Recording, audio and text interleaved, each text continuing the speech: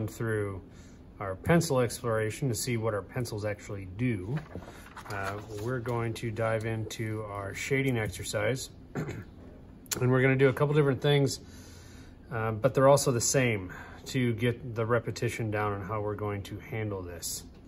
Uh, I'm gonna have my students use only a 2B pencil, only a 2B pencil on this whole exercise. Now you could do one of these for every single pencils, every single pencil that we have, but um, we don't have that kind of time. And I, I chose the 2B because you can still get pretty dark, like this dark, dark uh, that we've got there. Um, but you can also get fairly light with the 2B. You can't get extremely light like a, a 4H or a 2H or something like that, but we can get somewhat light um, on that. And what we have, what what we have here, so I've got a grayscale here. Uh, I, I, might put up a grayscale on the uh, on the video as well so you can see it a little clearer or just in a different form, but this is a grayscale and there's 10 uh, scales and we've got 10 scales here as well. And then we've got uh, just one long value that we're gonna end up making blend. Okay, and we're not even gonna use the blending stub. I don't want an eraser and I don't want a blending stub uh, to be used while we're practicing. I'll explain that in a little bit, but um, we need to mimic this as close as we can, this 100% here, this 90 here, 80 here, so on and so forth. And zero is nothing, it's white. So we don't have to do anything here. When we go through and shade this, this last area here should be white. It should fade off about here and become white, okay? This is set up the same way, but this doesn't have 10 spots. This is only gonna have uh, eight spots. So, um, what we need to do is what, what we'll do is we'll, we'll figure out, do we wanna leave out the 100 and make this 90 and then leave out maybe a 30 and just skip from 40 to 20. Um, plus my printout that I have here that my students use, um, they, the copier doesn't do really well with value. So this is too dark right here. These two uh, circles are a little too dark. So when you're when you're shading this, if you're looking at mine, um, you you don't want to make this this dark. You're going to go through the value scale um, as you see it up here as you do it, and then also you know if you have a, a, value scale like this, uh, make sure that you follow that. And again, in this area, we will just skip 30 maybe, and then maybe we skip 80 or we just make this 90 instead of 100, so on and so forth. So up here, what I want you to do, this doesn't have to be perfect, okay? Uh, nothing I ever ask my students to do is perfect, especially since we're using this word student. They're students because they're learning. So I expect them, you, if you're watching, um, if you're my class, um, I don't expect everything to be perfect. When we're doing something like this, this is called the learning zone. This is when we, we learn, we make mistakes, and we learn from those mistakes, okay?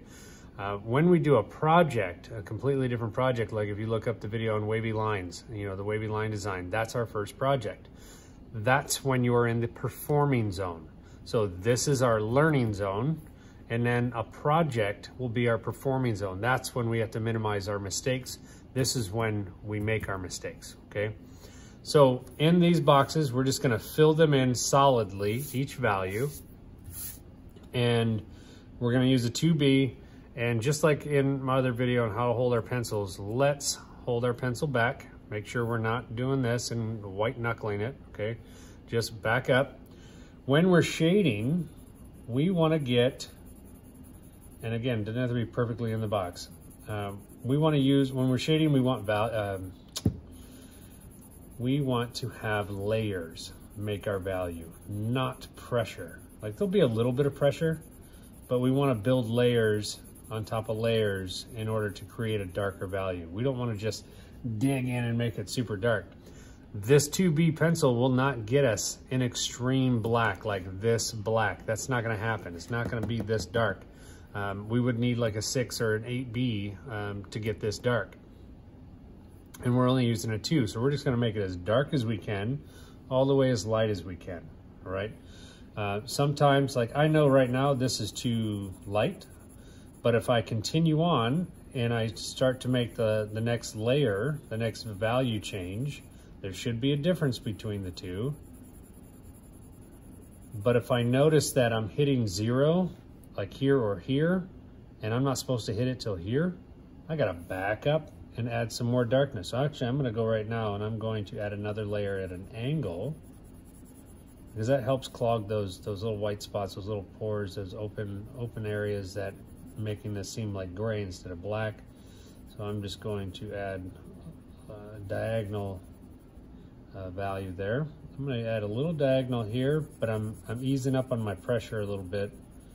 So I want to slowly build my value up because I don't want it to be darker than this one. We got to keep it lighter. Try and keep your hands out of this too, so that way we don't uh, smear it all over. We're not using the stub on this. We're not using the stub on this. We're not even using the stub here. Lucky you, we'll get to use the stub here. This is where we'll, we will practice the stub for the first time, okay? so I'm just gonna go through and start adding my value. And if it looks a lot like the one I just did on the left, then I gotta go back to the left. Like I tell my students, there is no prize for being done first. This is not just go through the motions, this is learning. You need to take your time, pay attention to what you're doing, and you have no idea what you might be able to accomplish if you actually put forth the effort. Learning is all about effort. If we could learn just by absorbing, that would be fantastic, but that's not the way we, we learn. Okay, so there's you should see a little bit of a value change. I might have to go back here, make this a little darker. I think I will real quick, just a little bit. Try to get another shade darker. That's pretty good. Then I'm gonna go lighter here again. Again, it's all about pressure and layers. Uh, on your screen, this may this may look um, too light, too blown out. What I call blown out, it's just overexposed. It's just too much light uh, and you, you, might not even see this very well, but I'm gonna keep going. We're, we're gonna try and get all the way to the end here. Um, I also don't like a really sharp point uh, to the pencil because you can get sharp lines on there. So every, every, as you're shading, try to rotate that pencil in your hand so that way it kind of rounds the edge because we don't want any sharp lines uh, in our value. See, like right there, I've already, I just made some sharp lines and that's the problem. That's why we have to rotate it. Right now, this is darker than this one. That means I'm gonna have to go back and do all four of those again. And that's not a huge deal because I was probably gonna have to do it anyways. But now you can see what a sharp edge is gonna do. It's gonna make a darker value. Softer edge is gonna be a softer value. You see that? So that that's almost like this, if not close to that. So now I've got to go back and make this one darker. I'm rotating that pencil in my hand now so I can uh, loosen up that edge. See that dark line I just put there? It's just too sharp. Sometimes people will break the tip of their leads off and then kind of grind it down a little bit on another sheet of paper just to get a little softer edge. But the more you work on one side, the sharper that other side is going to get. And you want to be careful of that.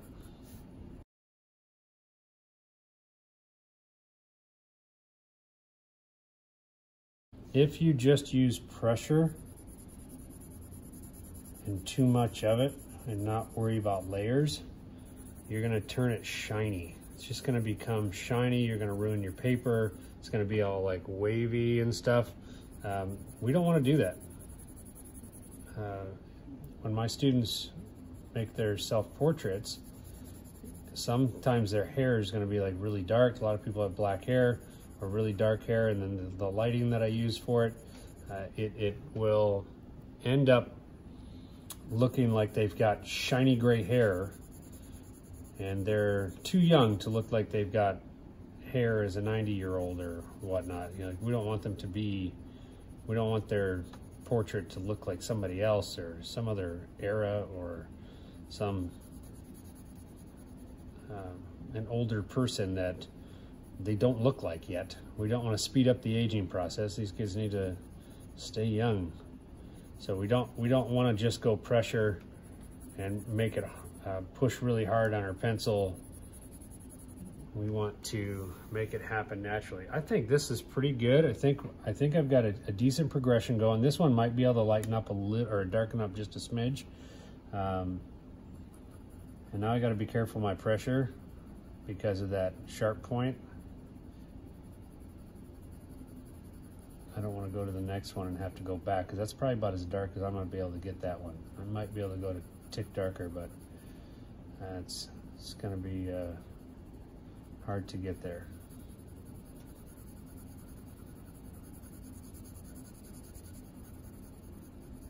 Again, pressure, all about pressure.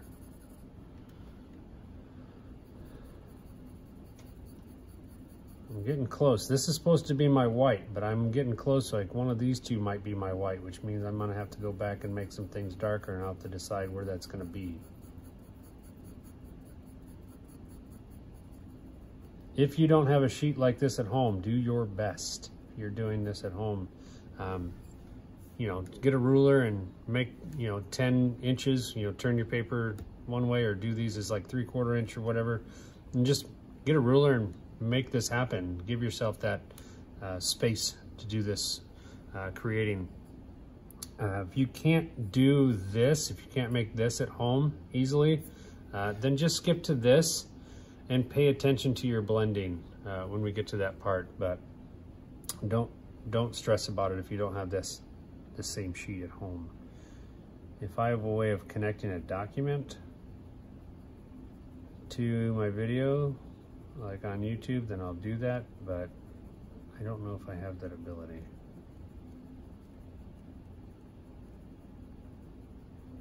This is getting really difficult to get light with this 2B. I mean, I'm barely touching the paper. I'm nervous about going to my next one. I'm also nervous that these two look the same. So I'm gonna go one more over here and try and make this as light as I possibly can. And then I might have to go back and darken this one up and maybe even this one. We'll see.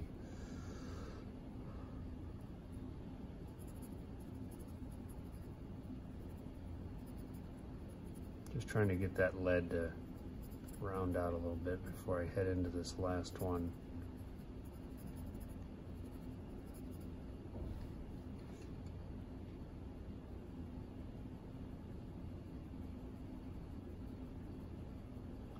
If I do it in small sections here, I can see that I'm able to get it pretty light. This would be that lightest value. I think I will go back and darken up one of the other ones. But boy, am I just barely touching the paper. I almost feel like I'm doing surgery or something, like I just I can't go through the surface. I can't. Don't push any harder. Don't rotate my pencil. Okay, I think I'm gonna call it right there, and then I'm gonna darken this one up, I think.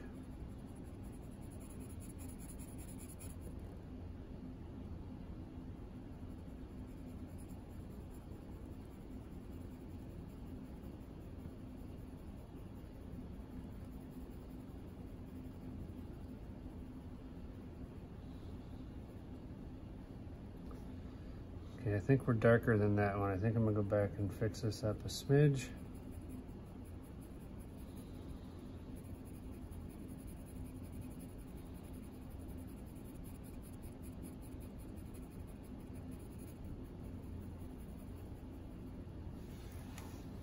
Okay, I think I've got, I think I got it pretty well.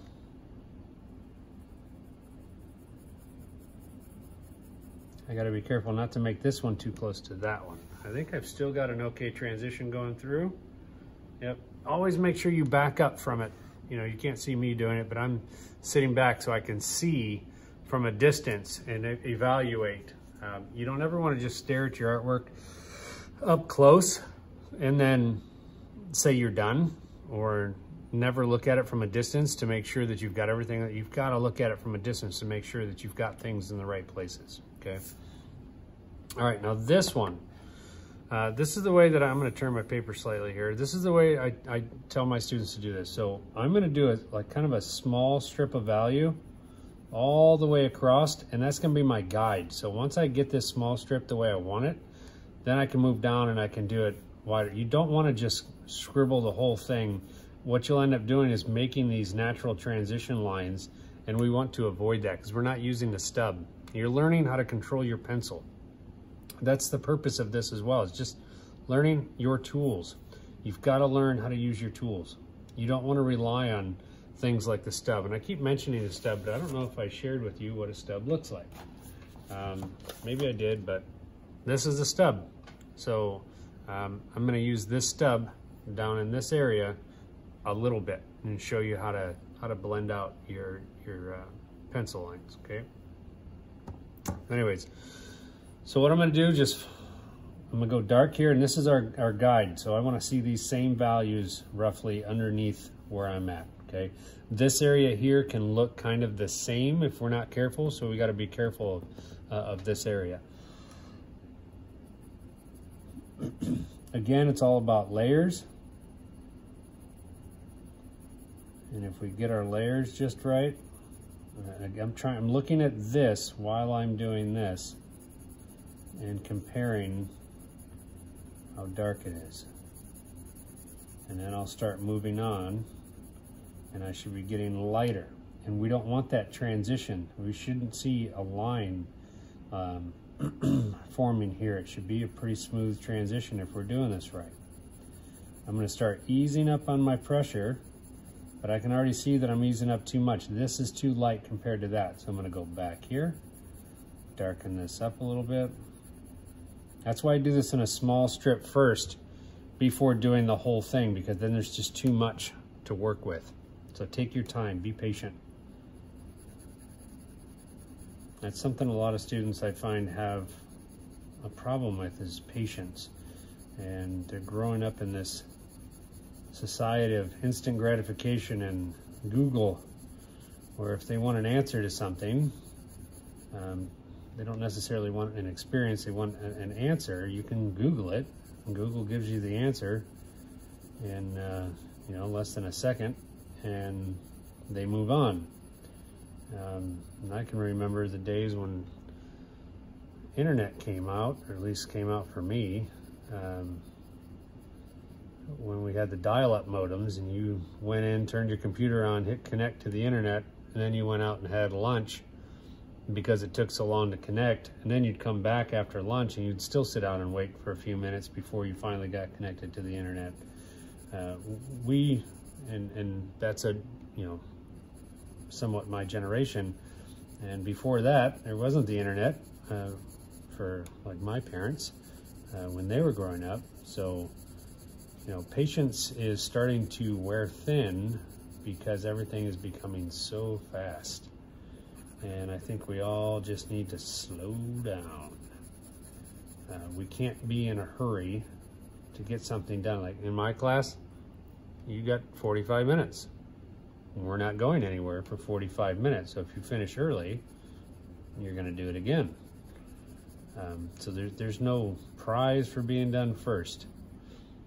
We just need to take our time and make sure that we're learning. I think that's pretty good. I think that uh, transition is pretty good. I'm going to go down and try and mimic the same thing now that I have my guide right above. And again, I'm gonna do it in probably two or three more strips. Um, just to make sure I don't create those weird transitional lines that happen when you shade and then you shade lighter and you got that weird dark line between the two. This it's helpful to go in small areas at a time. If you try and go too long, it's just gonna look like you're scribbling. And we don't wanna scribble, that's not the purpose of this. See that natural line happening a little bit? So I just have to go over that on the one side, the darker side.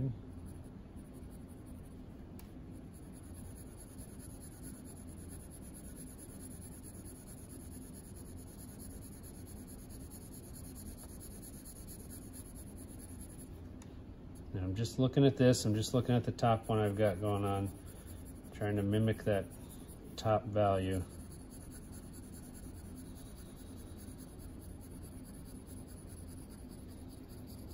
And I fade off just in time for this to be white. I'm gonna try and do all this in one here. I'm just gonna be careful about it. If it doesn't work out, then I'll make it smaller. I just don't, I wanna avoid those transition lines. You gotta watch stuff being underneath your paper. Uh, something under my paper, it made a little tiny black mark there, so you gotta, gotta be careful.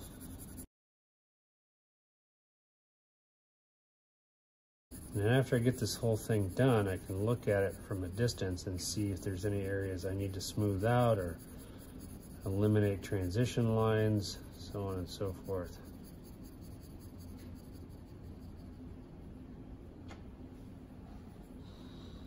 So right at the end here, I can see some lines happening and I want to be careful of that.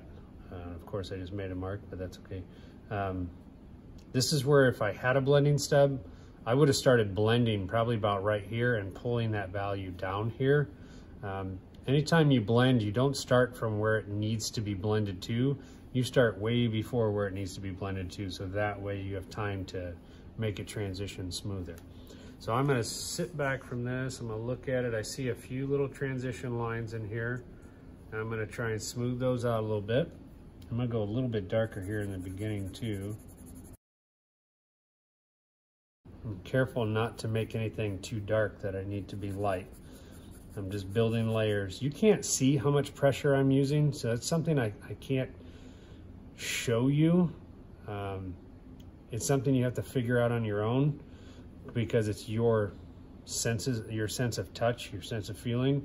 Um, so you just have to explore how light you're touching the paper, how heavy you're touching the paper, how hard you're touching the paper. So that's just something you have to feel. I can't teach that. I can tell you, but I can't show you. All right, I think that's pretty good. I'm okay with that. All right. So then I'm down here, we're doing the same thing we did up here, but we're starting down here. So we start dark down here, we get lighter, lighter, lighter, and eventually this one's white. Okay, so that's all we're doing here uh, is that same thing we see here, and then we'll do this uh, separately. And again, still small motions. I know this is a big space, and a lot of you are going to get bored or whatever it is, and you're like, oh, let's hurry up and get through this. This is a big space. Don't hurry up and get through it. There's no reason to hurry up. Just take your time. Go through in small motions. Get rid of those transition lines. Make sure we're getting the right darkness because you don't have to go over the whole thing again if it's all too light. You might have to, but if we can go dark enough now and know that we don't have to come back, that would be great. Remember, we don't, we've only got eight transitions here, not 10 like up here. So I could make this 80 or 90 and then just go from there. So I don't have to make this as black as this thing.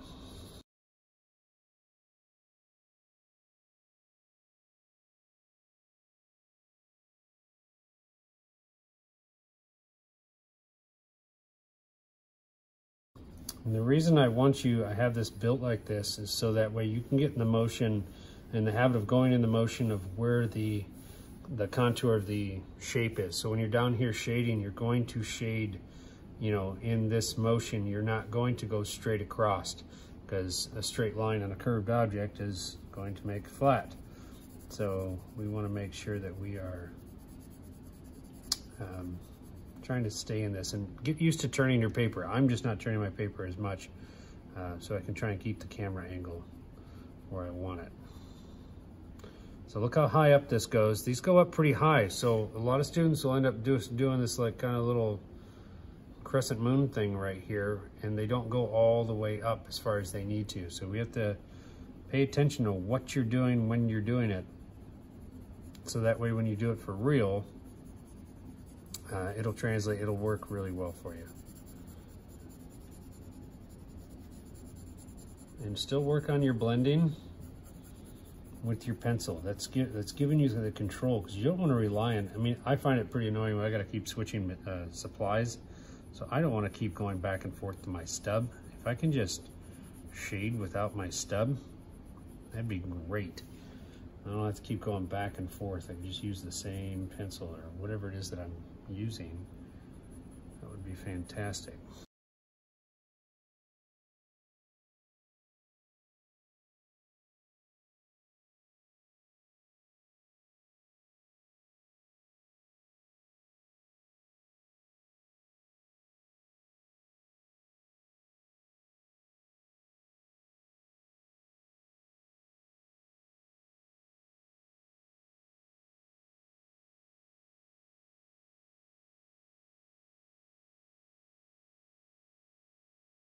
This last one's real tough. I gotta try and keep it real light. So I don't want it to look like the last one.